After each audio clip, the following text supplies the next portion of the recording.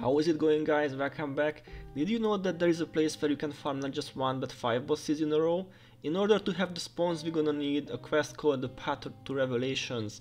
By the way, this is the last quest of a quest chain. If you haven't done any of them, get ready for 5 more quests. Plus, if you have completed the Revelations quest, the only way to get the bosses at Varajar Fells is to bring someone else who still has it. Normally this place is used for Norn point farming, but with the help of spirits and pain inverter we can farm a dervish, a warrior, a monk, necro and a mesmer boss too. They spawn one after each other. So actually there is a sixth boss too, a ranger, but to keep the quest repeatable we don't kill that one. So this is how to do it, start from either Sifhalla or from Olafstead and in both cases you will have to kill several monsters to reach the boss spot. Good heroes are recommended of course and some speed boost too.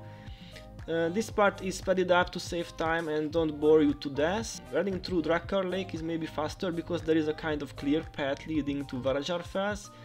Few more groups in this area and then we reach the portal between Fez and Norhard domains. Alright guys, we are here, this is our starting point. Upon entering the area you can pick up the Norn's bounty if you want or simply run straight to the spot. If you don't stop and have speed boost you can skip the first Minotaur group and distract them with spirits. I tend to flag heroes at this part otherwise they start attacking or using skills and follow me much slower. A simple SOS is enough usually uh, to slow down the Minos. Okay, moving on, if you get a good spawn at the next group, the Wendigos are till you get here, this makes our run faster. Now get ready for Smoke Phantom pop-ups all the way till the boss spot, and in Armor their air magic spells hurt badly, so an ST hero and skills like Power Spike or Cry of Frustration can speed up the fight against them. But if you are confident you can pop up several phantoms at the same time, just make sure your group is strong enough.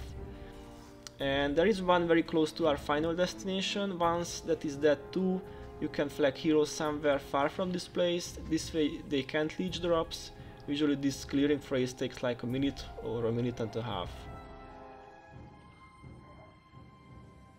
So the fun begins, our first victim is a dervish boss, Facet of Spirit.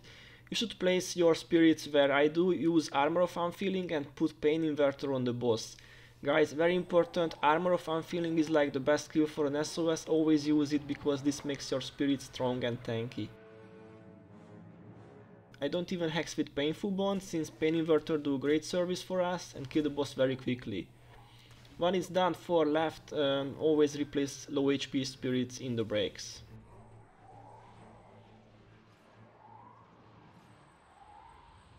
Warrior is the next one, the Facet of Distraction. He has Gladiator's defense, so it will make some time to kill him because of the blocks, but spirits are strong, don't you worry guys.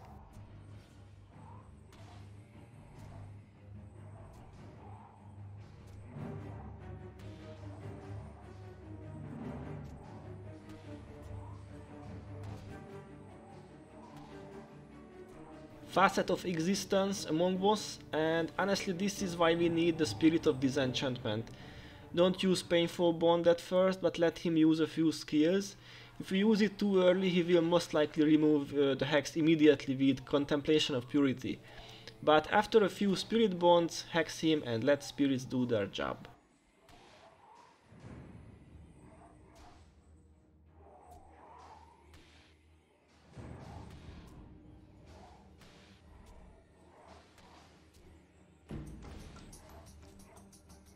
Facet of Death comes next. This is a Necro boss with Grenth's Balance.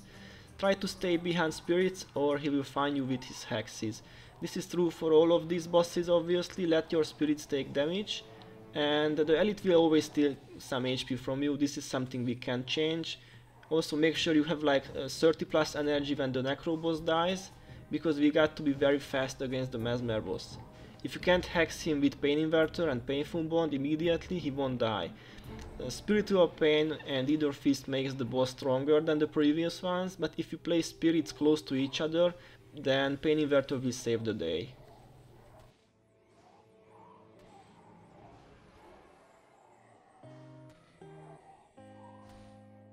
After that simply die if your heroes have no res, you will get resurrected close to the portal, or zone with your other account or you can walk back then rezone and you can farm them again.